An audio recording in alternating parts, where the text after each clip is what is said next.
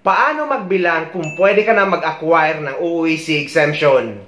Ang akala kasi ng iba ay one week before flight lang pabalik sa ibang bansa or 3 days before flight, pwede lang mag-acquire ng OOC exemption. Take note guys na ang OOC exemption ay valid for 60 days. So, basta pasok ang validity nito hanggang sa araw ng flight nyo pabalik sa ibang bansa, ay okay na okay pa ito. So, bibigyan ko yun ng simpleng example ng pagbibilang ng validity ng OEC exemption at kung kailan kayo pwede mag-acquire. For example guys, ang flight nyo pabalik sa ibang bansa ay January 5, 2024. At sa araw na ito, November 20, kung kailan na-record ko ang video na ito, ay pwede na kayo mag-acquire ng OEC exemption. Dahil guys, kung January 5 ang flight nyo sa ibang bansa, at kapag nakapag-acquire na kayo ng OEC exemption ngayong November 20, 2023, ay ang first month nito ay sa December 20, 2023. At ang second month nito at ang expiration ay sa January 20, 2024. At dahil nga January 5 ang flight nyo pabalik sa ibang bansa, still pasok na pasok pa ang validity nito dahil still valid pa ito for 15 days. So okay na okay pa ang OEC exemption nyo.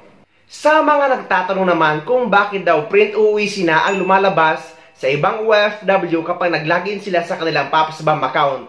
Pero sa iba ay hindi naman. Ang sagot dyan guys, yung mga OFW na print UUIC na ang lumalabas sa kanilang PAPSBAM account is yung mga OFW na kaka-verify lang ng kontrata nila. For example, yung mga OFW na may mga employment changes kagaya ng nag-change employer.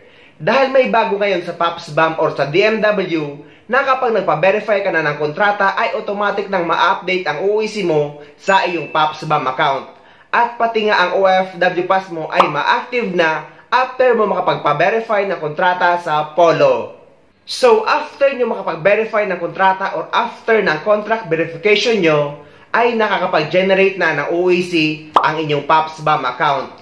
Kaya kapag nag-login kayo ay ready to print na ang lumalabas. Parang kagaya lang yan noon guys na kapag pupunta ka sa POA na may dalang Polo Verified Contract para kumuha ng OEC, yung date ng appointment mo or yung date ng pagpunta mo sa POA ay yun na din ang lalabas na date created ng iyong OEC.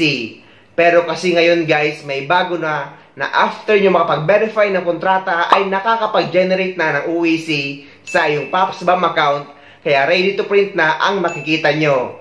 Pero just in case man na paaga ang pag-acquire nyo or pag-generate nyo ng OEC dahil nga nagpa-verify kayo ng kontrata at aabutan ito ng expiration bago pa man ang flight nyo pabalik sa ibang bansa, ay huwag kayong mag-alala guys dahil ang kailangan nyo lang gawin ay mag-reacquire ng panibagong OEC exemption after na ma-expire ang hawak nyong OEC or yung nauna nyong nakuha OEC na na-generate sa inyong PAPSBAM account. Para naman sa mga OFW na 4OEC exemption na lang, na wala namang employment changes, ay same procedure ang gagawin nyo. Kailangan nyo mag-acquire ng OEC exemption sa website ng PAPSBAM or sa PAPSBAM account nyo. At ilalagay nyo ang flight date dahil hindi ito automatic na lalabas na print OEC dahil nga hindi nyo naman kailangan magpa-verify ng kontrata kung parehong employer lang naman ang babalikan nyo at walang pagbabago sa employment information nyo or employment status nyo. Para naman sa mga walang idea kung paano mag-acquire ng OEC exemption sa website ng PAPSBAM, ay idudugtong lang yung video na ginawa ko noon dahil hanggang ngayon ay pareho lang naman ang procedure kung paano mag-acquire ng OEC exemption ngayon. So, itatype nyo sa Google Chrome ang onlineservice.dmw.gov.ph Pero guys, ilalagay ko na rin yung link sa description ng video na ito para mas madali nyong makuha. Kung hindi naman maklik yung link dahil minsan ay unclickable yung link kapag nilalagay sa description. So basta ito-type nyo ang onlineservice.dmw.gov.ph dahil kailangan nyo mag-login. So after nyo mapasok yung website ay ito yung lalabas. I-click mo yung let's go at ilalagay mo na ngayon ang email address mo at ang password na ginamit mo noon. Take note guys na dapat kung ano yung password at email address na ginamit mo noon, lalo na sa email address, ay yan ang gagamitin mo sa pag-login mo sa PAPSBAM account mo. Dahil guys, bawal ang multiple registration. Isa yan sa mga reason kung bakit not found ang lumalabas kapag naglalagi ng ibang OFW. Dahil ibang email address na ang ginagamit nila. Kasi guys, kung ano dapat yung email address na ginamit mo nung unang nag-register kayo sa PopsBam, ayun din ang gagamitin nyo kapag nag-login kayo at kapag mag-acquire kayo ng inyong OEC exemption. Kapag naman guys, naka-encounter kayo ng any problem kapag nagla-login kayo sa inyong PopsBam account, ay kailangan nyo lang mag-create ng ticket or mag-file ng ticket sa help desk. Ang pag-create ng ticket ay meaning ay meron kayong problema or meron kayong irereklamo. So, para makapag-create kayo ng ticket sa help desk, ay i-click mo lang yung kulay blue sa baba. Yang nakalagay na create ticket. Dahil guys, para matulungan kayo na maayos ang problema nyo ng DMW online. At ito ang lalabas. DMW Help Desk. Then, i-click mo lang yan, continue. Then, click select service. Then, click online service registration. At pipili na kayo dyan guys kung ano ang problema ng account nyo. Sa account recovery naman, ang pipili nyo dyan is yung reset or activation o kaya naman account problem. Dahil lahat ng mga mali nyo or mga problema nyo sa inyong PopsBam account ay pwede maayos ng DMW or ng POA online. Pero guys, sa mga OFW naman na hindi na-replyan ng POA at matagal na at wala silang response, ay magsadya na lang kayo sa pinakamalapit na POA office sa lugar nyo. Hindi nyo na kailangan pa ng appointment kung for OEC exemption na lang kayo.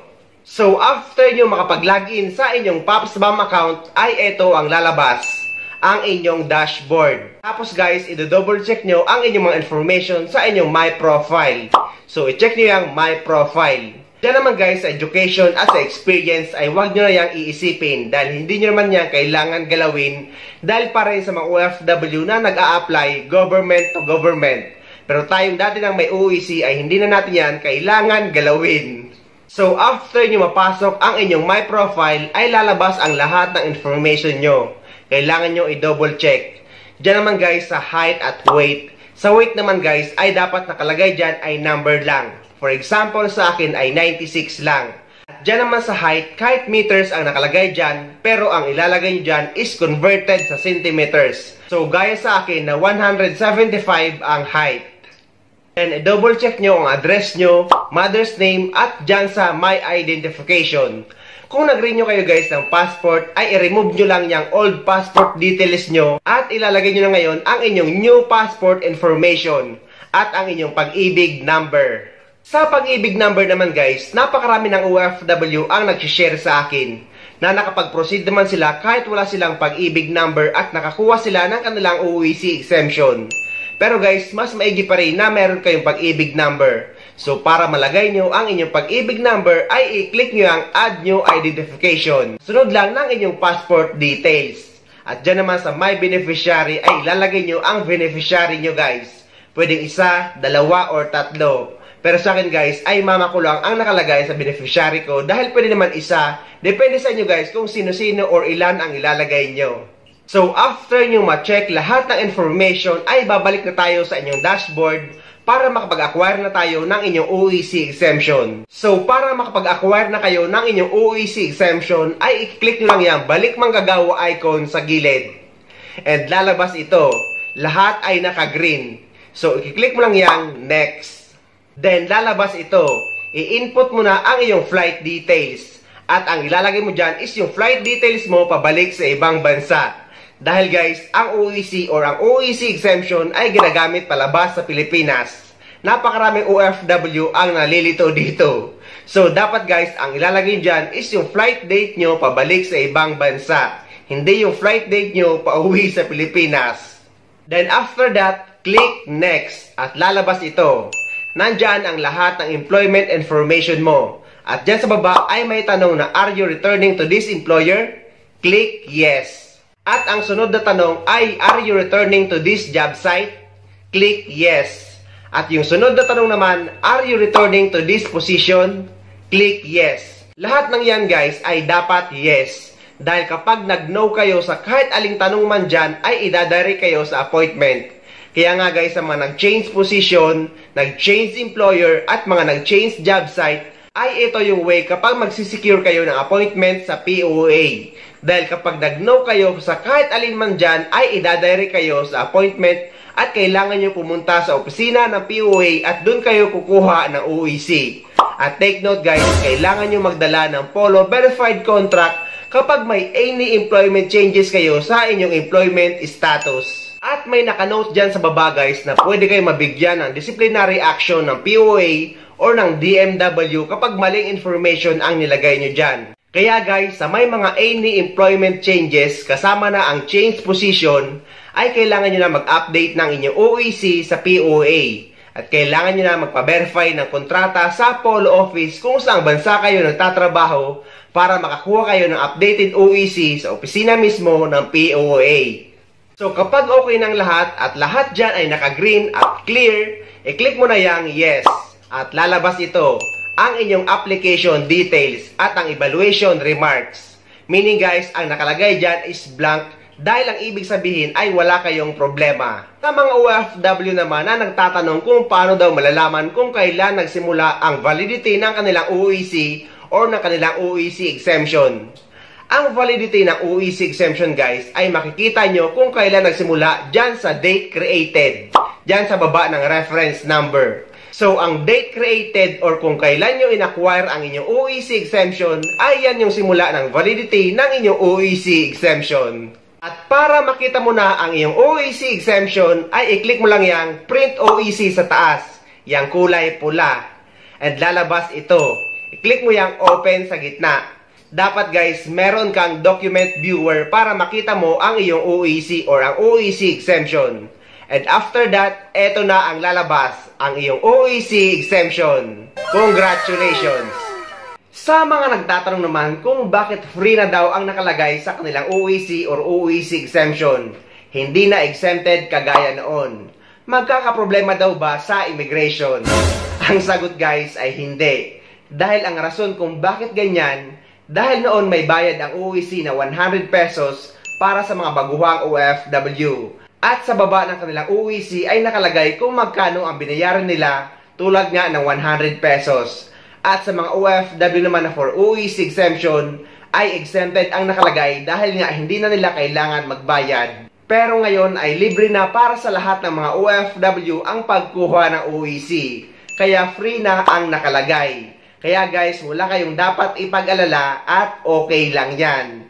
So ayun guys, sana may nakuha kayong idea at sana nakatulong ang video na ito sa inyo. At sa mga hindi pa dyan nakasubscribe sa channel ko, Please don't forget to subscribe my YouTube channel and please click the notification bell para lagi kayong updated sa mga upcoming videos na gagawin ko tungkol sa mga updates sa ating mga OFW. Mula dito sa Dubai, maraming maraming salamat. See you next time.